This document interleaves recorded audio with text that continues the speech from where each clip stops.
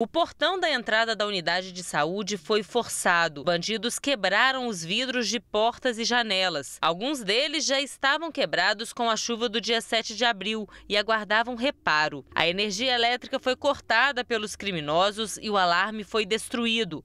Por sorte, a geladeira da unidade manteve a temperatura e não houve perda de vacina. O furto foi percebido assim que uma funcionária chegou para trabalhar. Desta vez, os bandidos levaram a televisão que ficava na sala de espera da unidade. O prejuízo material pode parecer pequeno, mas atrapalha muito o atendimento à população. Hoje pela manhã, a unidade não funcionou e agora à tarde, o atendimento está sendo parcial. Os problemas com a estrutura da unidade de atenção primária do bairro Santa Cândida são apontados pelos representantes da comunidade. Um dos portões da entrada está preso com arame. Não há vigias e os muros são baixos. Está fazendo um ano que foi feito os pedidos de grades, dessas concertinas lá fora. Tem seis meses que a gente está com nossas portas do acesso principal amarrado com arame. Então isso é uma vergonha, entendeu? A gente está sem apoio do poder público. A gente está à mercê dos vândalos, entendeu? Os funcionários trancam as portas internas para dificultar a ação dos bandidos, mas contam que os furtos acontecem também durante o horário de funcionamento. Até os próprios vizinhos reclamam que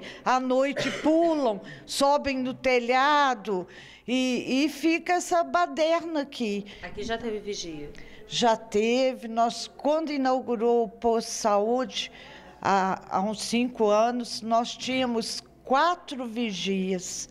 E hoje, depois passou para dois, um, um, um, durante o dia, um à noite.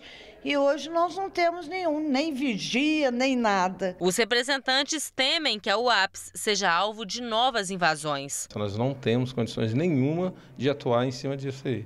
Nós só fazemos boletim de ocorrência, fazemos pedido, é, tem ata, tem reunião de ata, essas coisas.